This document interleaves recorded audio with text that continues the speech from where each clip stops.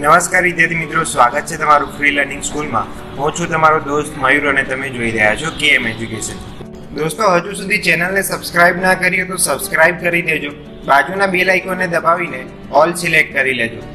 Video પસંદ આવે તો વિડીયોને લાઇક જરૂરથી કરજો. જે તે ચેપ્ટરના વધુ વીડિયો જોવા માટે ઉપર આઈ બટન ઉપર ક્લિક કરીને તમે જે તે ચેપ્ટરના વધુ વીડિયો જોઈ શકો છો. વિદ્યાર્થી મિત્રો, આજના વિડીયોમાં આજનો પ્રશ્ન છે કે માનવમાં મૂત્રપિંડ નલિકા એટલે કે એને બીજા શબ્દોમાં નેફ્રોન પણ કહેવાય છે. તો આ બંને શબ્દોમાંથી કોઈ પણ શબ્દ લઈને પ્રશ્ન બની શકે છે કે નેફ્રોનની રચના અને તેની ક્રિયાવિધિનું વર્ણન કરો. નેફ્રોનની જગ્યાએ તમને એવું પણ પૂછે કે મૂત્રપિંડ નલિકાની રચના અને તેની ક્રિયાવિધિ વર્ણવો. તો સૌથી પહેલાં તો આપણે મૂત્રપિંડ નલિકા એટલે કે નેફ્રોન શું છે? એના વિશે માહિતી મેળવીએ. અને એની આકૃતિ સાથે પણ પૂછાઈ શકે. જો તમને પ્રશ્ન પૂછે ચાર માર્ક્સમાં અને કૌંસમાં લખે કે આકૃતિ જરૂરી નથી, તો જ આપણે આકૃતિ નહીં દોરીએ. એ સિવાય આપણે દરેક પ્રશ્નમાં, એટલે કે જે પ્રશ્નમાં આકૃતિ આવે છે, એ આકૃતિ જરૂરથી દોરીશું. આકૃતિ માટે આપણે અલગથી વીડિયો બનાવેલો છે, તો એ આપણે જોઈશું. અને જે વિધિ છે, એટલે કે પ્રક્રિયા શું થાય છે મૂત્રપિંડ નલિકામાં, તો એના માટે આ પ્રશ્ન છે. તો જોઈશું એમાં કે મૂત્રપિંડમાં ગૂંચળાપાઈ નલિકાઓ ધરાવતો પાયારૂપ ગાળણ એકમ હોય છે.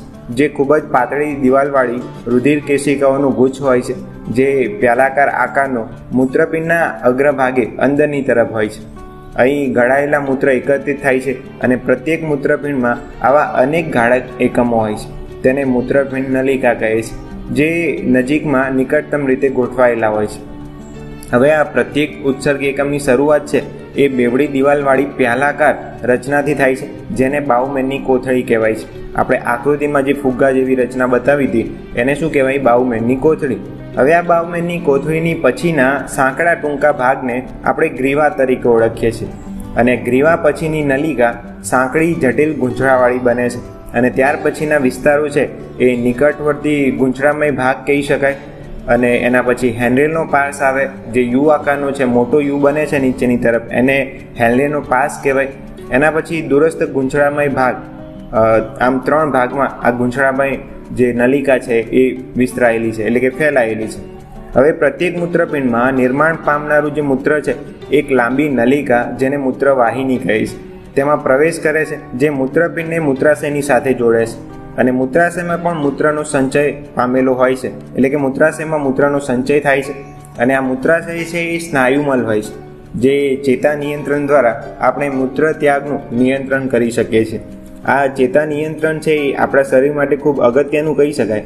કારણ કે આપણે આપણી આસપાસ ઘણા એવા દર્દીઓ અથવા તો બીમાર વ્યક્તિને જોયા હશે કે જેઓ મૂત્રનો ત્યાગ અથવા તો મળનો ત્યાગ અંદર મતલબ કે કપડાં પહેરેલા હોય અને ટોયલેટ કે બાથરૂમમાં જઈને ના કરી શકતા હોય, તો તેવા સમયે આપણે એક સાયન્સના વિદ્યાર્થી તરીકે એવું સમજી લેવાનું કે એમનું ચેતા નિયંત્રણ તંત્ર છે, એ થોડું નિર્બળ છે, એટલા માટે. કેટલાક એમને મન બુદ્ધિ કે પાગલ સમજતા હોય છે, તો આપણે સાયન્સના વિદ્યાર્થી તરીકે એવું નહીં સમજીએ અને એવું સમજીશું કે ચેતા નિયંત્રણ તંત્ર છે, એટલે કે જે નિર્ણય કરી શકે છે, કે મૂત્રનો ત્યાગ અથવા તો મળનો ત્યાગ ક્યારે અને કેટલા સમયે કરવો જોઈએ. તો એ ડિસિઝન છે, ચેતા નિયંત્રણ કરે છે. જ્યાં સુધી મૂત્રાશયમાં સંચય થયેલ મૂત્ર છે, એ દાબ અનુભવી મૂત્રમાર્ગ દ્વારા તેને બહાર ન કરી દે, ત્યાં સુધી મૂત્રાશય છે, એ દબાણ અનુભવે અને પછી મૂત્રનો ત્યાગ થાય છે.